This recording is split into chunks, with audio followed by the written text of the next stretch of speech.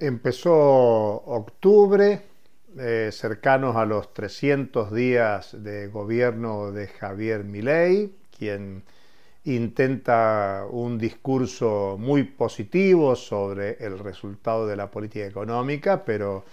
octubre empezó con miles de despidos, cierres de dependencias públicas, eh, cumpliendo con la ley bases, el decreto 70 de diciembre pasado, la política de ajuste en términos generales. Hay aumento de precios, de, tarifas, de servicios en general, aún claro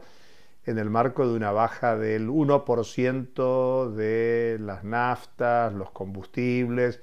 producto de la baja de los precios internacionales del petróleo. Y, y aun cuando se estima que la inflación puede bajar del 4% en que se ha estacionado en los últimos cuatro meses,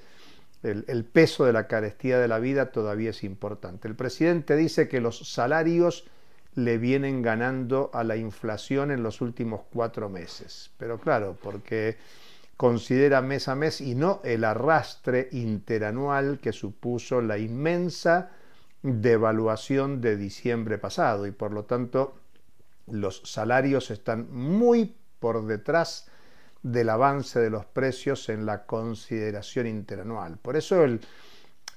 crecimiento de la pobreza, el, dato relevante de estas horas y contrastante con el discurso oficial es casi el 53% de pobreza por ingresos. Recordemos que en comienzos del 2002, en plena crisis de la salida de la convertibilidad, la pobreza había alcanzado el 57%. Digamos que Argentina está en los peores momentos de la medición de la pobreza, con, menores eh, niños y jóvenes con un nivel de pobreza por encima del 60%, no hay eh, sector territorial de la Argentina donde no impacte la pobreza, incluso territorios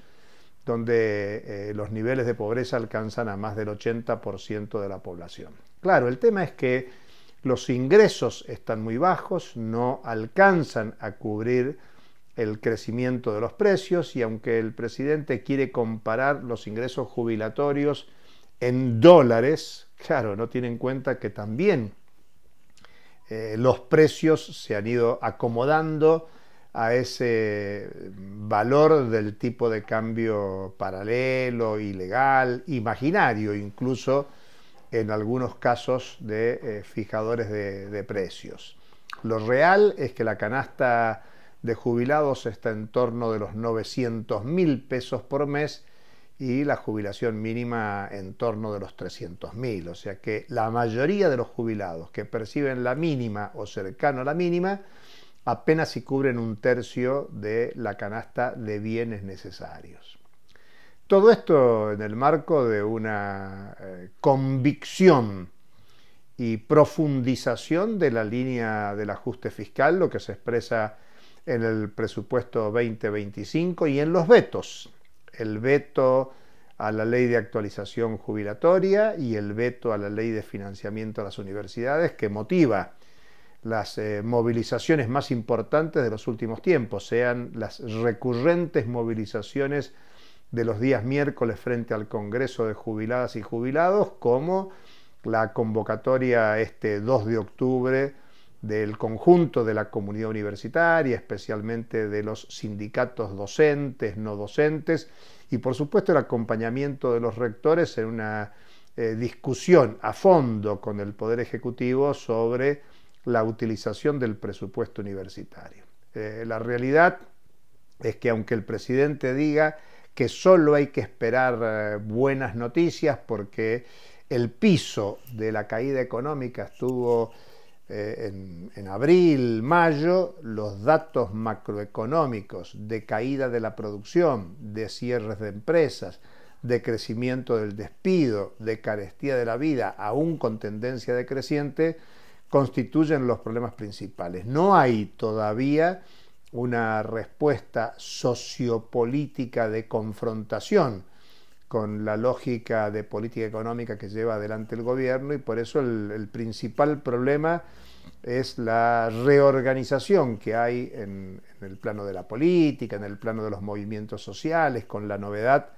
de eh, las primeras reuniones de unificación de las dos CTAs para intentar ser una CTA única y buscar en el conjunto del movimiento sindical, social, popular,